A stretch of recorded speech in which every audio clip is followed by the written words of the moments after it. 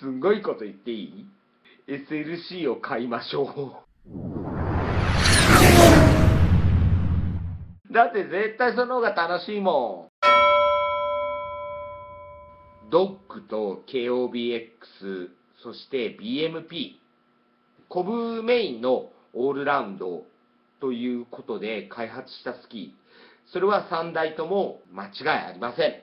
けど、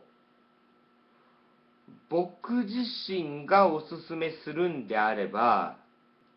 SLC かもしれません。っていうのは、お客様で、KOBE、KOBE、KOBX、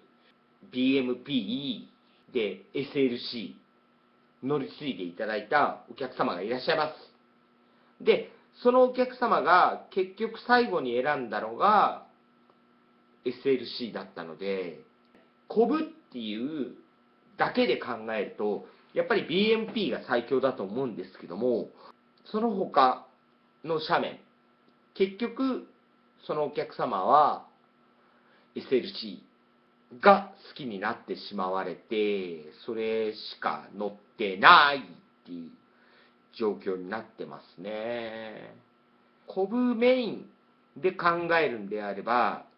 ワンちゃんとか BMP とかですけど、結局多くの方が SLC に回帰してくるというか、結局そこにたどり着くみたいなのがあります。